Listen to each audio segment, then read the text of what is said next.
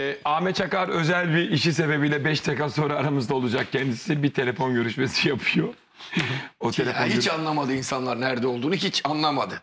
Niye? Hem gülüyorsun hem telefon görüşmesi millet anlamadı Ahmet Özal'ın nerede Ahmet olduğunu. Çakar ve Abdülkerim Durmaz yeniden Titanic gibi sarılsın mı diye böyledeki anket. Evet sarılsın yüzde bir, 51. Hayır sarılmasın yüzde 48. Evet demek sarılsın istiyorlar. ama. Sizce Ahmet Aa, Çakar benim bir nerede dakika, arkadaşlar? Bir dakika, bir dakika. Konuyu saptırmayın lütfen. Beşiktaş Başakşehir derbisi mi kardeş derbisidir? Fenerbahçe Galatasaray siz öyle dediniz. diyor. Hayır Beşiktaş Başakşehir Siz kardeş öyle derbisi dediniz. olsa berabere biter. Siz öyle. İşte Beşiktaş- kardeş, Beşiktaş- ben de onun için Başakşehir tweet kardeş attım. derbisi iki. Kardeş katili Başakşehir. Bir dakika dur. Kardeş Ha, o katili başka. Başakşehir. Derbide Bak, o kırmızı güzel var. diyorum ama. Ha, tweet attım. Dünkü derbide kırmızı Benim var mı? getirsene voleydeki anketimi. Çek. Dünkü derbide doğru Yok. kart bile yok ya. Yok. Onur hangisi bugün kardeş kırmızı var. derbisi? Ama duymuyorsun ki. Onur. Getir Onur lütfencim. Bir göreyim. Ondan sonra tamam. Şimdi e, Hadi gör. Onur ver. Vermiyor Onur bak. Heh, bakar mısın? Sinancım bak Buyur. 15 bini geçmiş oy. Büyük bir oy. Dünkü derbide yanlış bir şey bu. Kardeş derbisi sizinkiymiş. Dünkü derbide, dünkü Kardeş derbide derbisiymiş kırmızı sizinki. var mıydı yok. Bugünkü derbide kırmızı da vardı. Dümen- Dümenden kırmızı. Sarılar da Bugünkü var. dümenden Dümen ama siz kardeş olduğunuzu kabul ediyorsunuz Dur ay zaten. bak bak bak.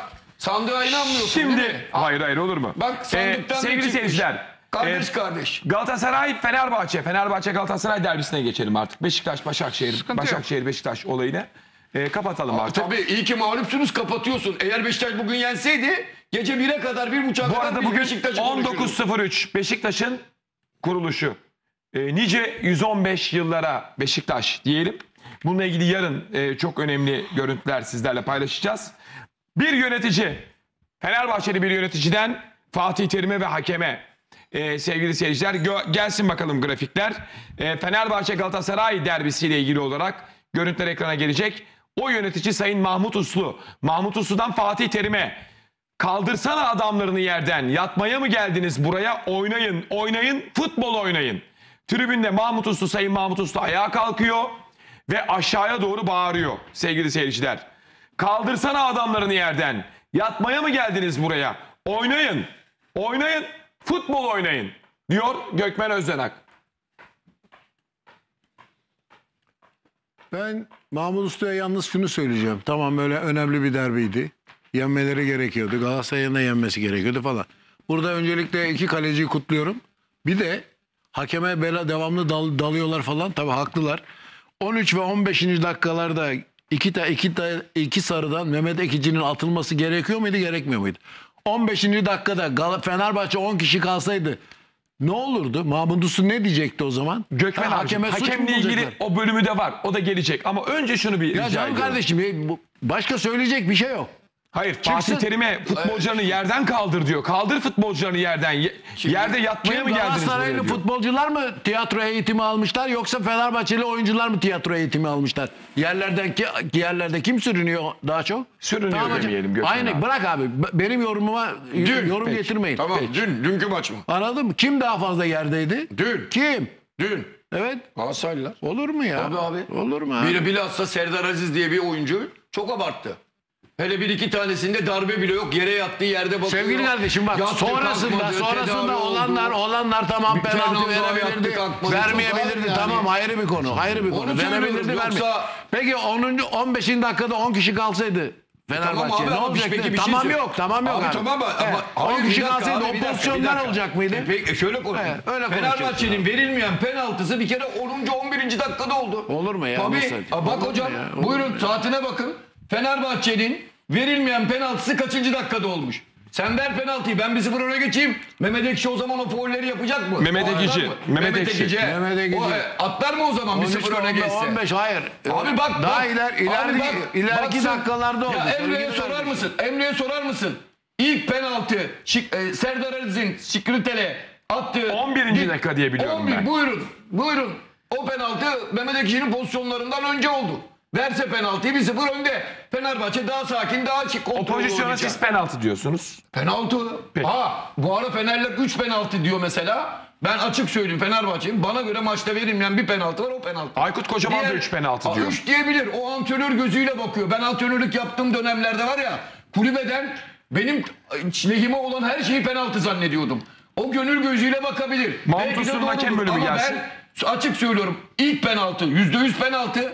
Diğerleri ağır benim için. Görmüyor musun Penaltı. hoca? Bu penaltıları nasıl görmüyorsun? 3 penaltıyı yedin. Allah seni bildiği gibi yapsın. Bildiği gibi olacak o.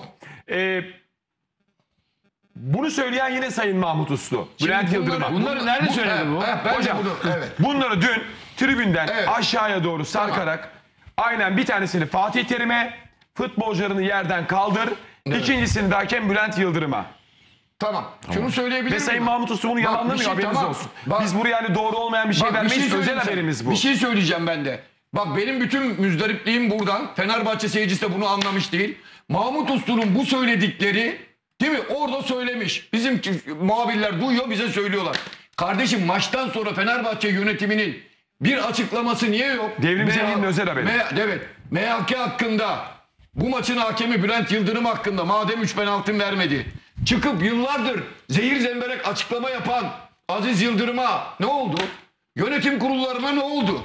Çıt yok. Var mı bugün Fenerbahçe'de? şimdi tuhaf Fenerbahçe kulübünden bir açıklama var mı? Hatta- MHK ya da Bülent Yıldırım hakkında. Ya bir Barış'tan- sessizlik. Ya bir Apo'cum, ses. Abi bak. Bir Barış'tan bir dakika bir Abi. dakika. Barış'tan bahsediyorlar. Abi. Başbakan gelmiş, Galatasaray Başkanı gelmiş. Gal Fenerbahçe'den bir tane yönetici yok Abi ya. onu konuşuruz ayrı bir şey. Ne ne konuşursun Ben- abi? hayır, ben Fenerbahçe- Barış'tan ba- Barış'tan söz ediyorum. Ben Fenerbahçe taraftarlarının rahatsızlığından bahsediyorum. Hocam Fenerbahçe taraftarları çok rahatsız. Sen biliyorsun bana da çok ulaşıyorlar. Ben ben o Fenerbahçe taraftarlarının isteklerini burada söylüyorum. Niye bizim kulübümüz eskisi gibi haklarımızı aramıyor?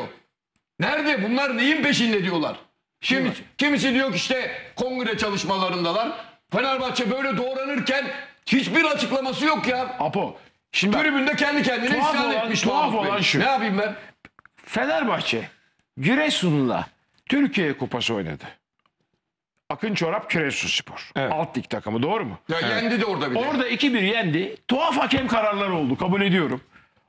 Bak şimdi bu bu bir akıldır ve stratejidir. Aykut Kocaman çıktı.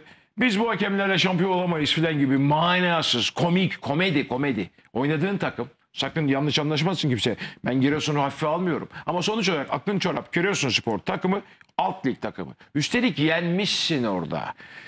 Böyle manasız ortalığı bir velveleye verdiler. Arkasından bir açıklamalar Fenerbahçe yönetimi MHK istifa. Ya dün akşam siz net bana göre 3 penaltı değil.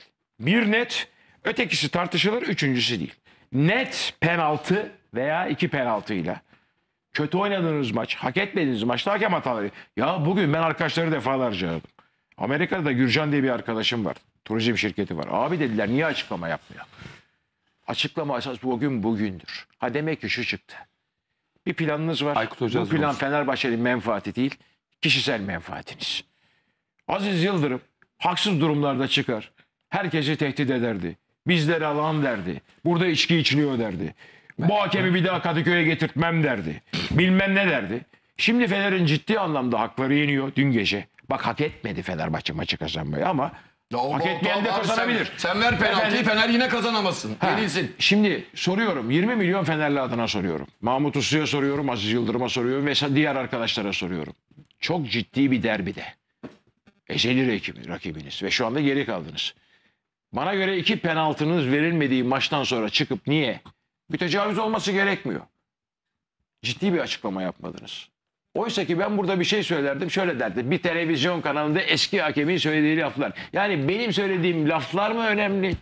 Fenerbahçe'nin iki tane penaltısı verilmeyip hakkının yenmesi mi önemli? Buradan şu çıkıyor. Demek ki kişisel usubetleriniz tırnak içinde bir lafımız vardır. İdrar yarışı diye. O lafı öteki lafı kullanmıyor. İdrar yarışı.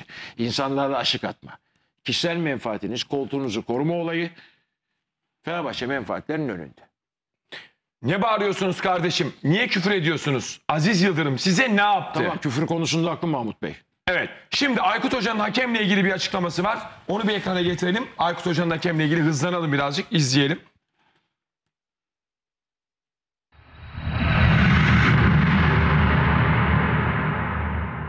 Maçın başından itibaren eşitliğin bozulmaması için e, hakikaten e, Galatasaray'a kadar büyük çaba gösterdi. Haftalardır dillendiriyorum, söylüyorum. Tabii ki söylemekten açıkçası utanıyorum da bu konuları. Bu konularla sürekli gündeme getirmekten. Ama çok net bir şekilde gözüküyor. E, ötesini söylemeye gerek yok. Yani bu kadar üç tane net penaltının e, tam da gözünün önünde Fegoli'nin, e, Roma'nın hemen Rom, e, Roman Neustadter'in hemen omuzlarının üstünden iki eliyle beraber görüp de vermemek yani bu ne demek anlamıyorum. Yani bunu görme ihtimali olduğunu düşünmüyorum çünkü biraz önce bizim kendi yayınımızdaki pozisyonda seyrettiğim pozisyonları çok net. Nabil Dirar'a e, sarı kart gösterdi. Doğrudur, yanlıştır. E, şey yapamam, gri bir pozisyon. A- haklı. E, Nabil şöyle yapıyor. E, Serdar'a. Ama aynı Serdar'ın Martin Şikirter'e neredeyse yumruk atma halindeki pozisyonunu yine gözlerine bir e, inme oluyor. Hakemlerimiz de bizim bize karşı bu sene bu sene değil zaten aslında söylemem gereken şey e, geçen senelerde de aynı şeydi. Aynı şey devam ediyor. E, ben sadece dillendiriyorum bunu. Dillendirdikçe de tabii kötü adam oluyorum bir taraftan. Onun da farkındayım ama yapacak da bir şey yok. Dillendirmek zorundayım her zaman olduğu gibi. Aynı şey ikinci yarıda da son derece çok derece net bir pozisyon. Serdar e, Soldado'ya yaka paça künde atıyor ve dört hakemin birden görme. Hadi ha- onu orta hakem yakalayamayabilir. Çünkü topun ortalandığı yer Hasan Ali'nin ortaya yaptığı yere doğru odaklanmış olabilir. Başka bir pozisyon ama bunun dört hakem var. Dört hakemin de görmeme ihtimali ancak ve ancak bu kadar tecrübeli bir hakemin bunları atlamış olmasını e, bu arada tabii Galatasaray'la ilgili de mutlaka şeyler vardır. E, e, atladığı şeyler vardır. Ee, orayı atlamayayım. Ama bu atlamış olacağını düşünmek biraz fazla iyimserlik oluyor. Bugün Fernando'nun Giuliano'ya girişi hani bakın Ekici'nin iki tane sarı kartı da olabilir. Ben bir taraftan onu da atlamayayım yani. Ee, Giuliano'nun Giuliano'ya Fernando Fernando'nun girişi hani yüzde yüz kırmızı kart yani. Aynen ilk maçta e, stoperlerinin bizim yan sene girişi olduğu gibi. Bakın Beşiktaş son iki oynadığımız e, resmi maçta Malatya'da 7 dakika uzatma oldu. 7 dakika. Ee, Beşiktaş maçında, kupa maçında 10 dakika uzatma verildi. Bugün e, hani bizim 5 dakika uzatma verildi ama bizim hesapladığımız mutlaka yanlışı doğrusu olabilir. 12-13 dakika. Neyse fazla uzattık. Ee, Sinan abi, Aykut Kocaman diyor ki geçen sene de ben konuştum. Kötü olan ben oldum. Bu sene de ben konuşuyorum. Hakemler konusunda haklı mı? Şimdi evet kısmen hakem konusunda haklı. Bunu Twitter'dan Ama bize yazabilirsiniz. Sadece şu var bir de. Hakem konusunda haklı da. Peki Aykut Kocaman kendi işinde haklı mı? Kendi yaptıklarında haklı mı? Kendi doğru işler mi yaptı? Yani Fenerbahçe'nin bugün 6 puan liderden geri olmasının en büyük sebebi Aykut Kocaman mı yoksa hakemler mi? Bu önemli. Güzel. Yani tamam dün hakem öyle böyle falandı filan. Dün baktığın zaman işte hakem şöyle yaptı. Orada Mehmet Ekici yatsaydı olur muydu? Şu olur muydu? Mesela orada penaltı verseydi falan filan hakem Evet tamam hakem iki tarafında aleyhte lehte çok kötü kararlar verdi. Hakemin niyeti belli. Maç berabere bitsin. Belli tepki almayayım. Hiçbir camiadan bana tepki gelmesin. Çünkü istese düdük çalar verir penaltıyı. İstese tak atar. Değil mi hocam? İstese oyunu yani oyunu tutmaya çalıştı hakem. Şimdi bakın. Türkiye'de bazı kavramlar Sinan'ım dediklerinin altına senin de Aykut Kocaman da imza atarım. Yanlış anlama. Hakem şimdi hocam isteseydi bir dakika dur. Hakem dün istese penaltı çalar mı? Tabii çalacak. Çalar. İstese kırmızı gösterir mi? Anasını Gösterirdi. Ama iste- Ne yaptı? istemesi yapsın bir hayır. abi. Bu istemeyle Ne yaptı? olur mu yani? İstemedi Hiçbirisini yani? yapmak istemedi. Niye? Çünkü hakem dedi ki abi ben hiçbir tarafla kavga etmeyeyim. Bu işi berabere götürebildiğim kadar götüreyim. E bu ama Fenerbahçe'nin işine gelmez Burada ki. hakemler işte tamam bak onu artık kendime soruyorum. Aykut Kocaman mı Fenerbahçe'nin 6 puanda geri olmasının en büyük sebebi yoksa hakemler mi? Tabii ki Aykut yani, Kocaman. Aykut Kocaman. Tabii. ikisi de var, Şimdi, ikisi de var, ikisi, ikisi de ikisi de var. var. Şimdi İkisi Aykut de var. Kocaman O eğer zaman herkes pürüpak olur yani. Aynen.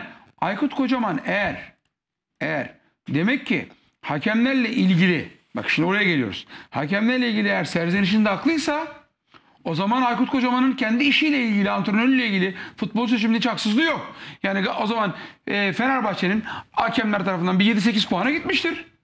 Değil mi? Yani söylediğine göre kabul ediyorsak. tamam. E bugün o zaman Galatasaray şey Fenerbahçe liderdi. Ama diğer takımların da puanla gittiği maçlarını çıkarabilir Ama sana. yani- Beşiktaş da der ki Ama şöyle şu maçta şimdi şöyle buradaki oldu. konu ne biliyor musun? Galatasaray der ki işte Sivas'ta Buradaki bizim konu şu penaltı verildi. Herkes Tabii. puan kayıplarını hakeme bağlayabilir. İşte ben de diyorum ki